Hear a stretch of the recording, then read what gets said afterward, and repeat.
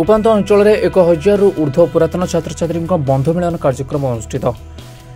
ମାଲକାନଗିରି ଜିଲ୍ଲା କାଲିମେଳା ବ୍ଲକ ଅନ୍ତର୍ଗତ M V seventy nine ସ୍ଥିତ ସାବରୀ ସରକାରୀ ଉଚ୍ଚ ବିଦ୍ୟାଳୟଠାରେ ଆଜି ଉଣେଇଶହ ଅଶୀରୁ ଉଣେଇଶହ ନବେ ମସିହାର ସମସ୍ତ ବ୍ୟାଚ୍ର ଛାତ୍ରଛାତ୍ରୀଙ୍କ ବନ୍ଧୁ ମିଳନ କାର୍ଯ୍ୟକ୍ରମ ଅନୁଷ୍ଠିତ ହୋଇଯାଇଛି।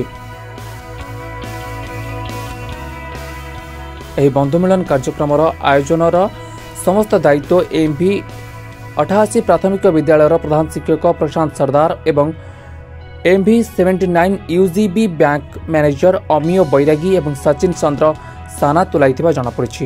ଏହି ବନ୍ଧୁ ମିଳନ କାର୍ଯ୍ୟକ୍ରମରେ ଏକ ହଜାର ପୂର୍ବତନ ଛାତ୍ରଛାତ୍ରୀମାନେ ଯୋଗ ଦେଇଥିବା ଜଣାପଡ଼ିଛି।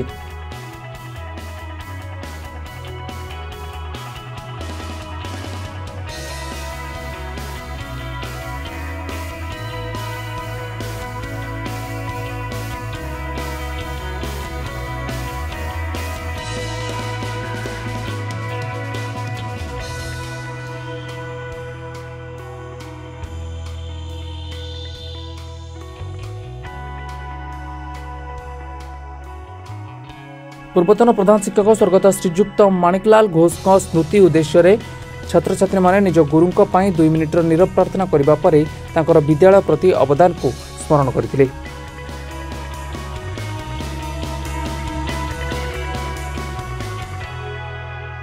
ଶ୍ରୀ ଘୋଷଙ୍କ ଦଶ ବର୍ଷ କାର୍ଯ୍ୟକାଳ ସମୟରେ ବହୁତ ଛାତ୍ରଛାତ୍ରୀଙ୍କୁ ଭଲ ମଣିଷ କରି ଗଢ଼ି ତୋଳିବାରେ ମୁଖ୍ୟ ଭୂମିକା ରହିଥିଲା। ଏହି ବନ୍ଧୁ ମିଳନ ଦୁଇ ଦିନ ଧରି ଚାଲିଥିଲା। ତାହା ସହ ସାଂସ୍କୃତିକ କାର୍ଯ୍ୟକ୍ରମ ଏବଂ ବନ୍ଧୁମାନଙ୍କ ମଧ୍ୟରେ ଏକ ଫୁଟବଲ ଖେଳ ଆୟୋଜନ ମଧ୍ୟ କରାଯାଇଥିଲା।